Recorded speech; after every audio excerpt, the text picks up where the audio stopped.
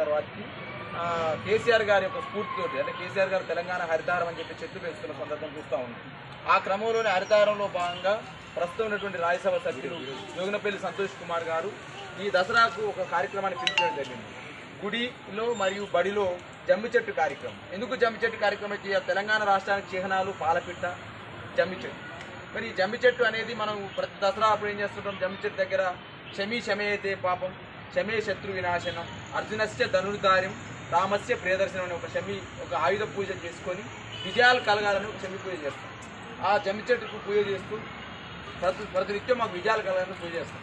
కానీ అను- రాను రాను ఏమైందంటే మనకు రాష్ట్రానికి వృక్షమైనటువంటి జమ్మి అనేది కనిపించని సందర్భంలో బడిలో మరియు ఇంత పవిత్రమైనది విజయానికి సూచికైనటువంటిది ఈ జమ్మి చెట్లు బడిలో గుడిలో నాటాలనే ఒక గొప్ప స్ఫూర్తితోటి మరి ఈ జమ్మి జమ్మి ప్రతి గుడిలో ప్రతి బడిలో జమ్మి చెట్టు నాటాలని ఆలోచన చేసిన యుగనపల్లి సంతోష్ కుమార్ గారు.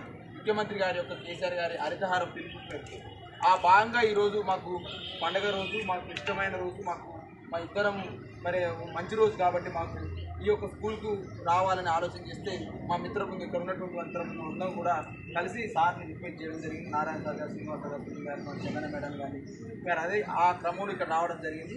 మీ అందరి సమక్షంలో జమ్మి చెట్టు నాటినాం. ఈ జమ్మి చెట్టు మంచిగా పెరిగి తెలంగాణ రాష్ట్రం కూడా ఈ జమ్మి ఏ విధంగానైతే చెట్టు విజయాన్ని సూచికను తెలంగాణ రాష్ట్రం కూడా అన్ని రంగాలలో కేసీఆర్ గారి నాయకత్వంలో విజయం సాధించాలని ఆ భగవంతుని కోరుకుంటూ మీ అందరూ సహకరించినందుకు జై జై ధన్యవాదాలు. జై తెలంగాణ. జై ముఖ్యమంత్రి కేసీఆర్.